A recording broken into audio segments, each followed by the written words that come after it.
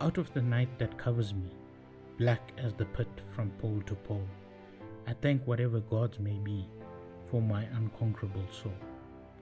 In the fell clutch of circumstance, I have not winced nor cried aloud. Under the bludgeonings of chance, my head is bloody but unbowed. Beyond this place of wrath and tears, looms but the horror of the shade, and yet the menace of the years finds and shall find me unafraid. It matters not how straight the gate, how charged with punishments the scroll. I am the master of my fate. I am the captain of my soul.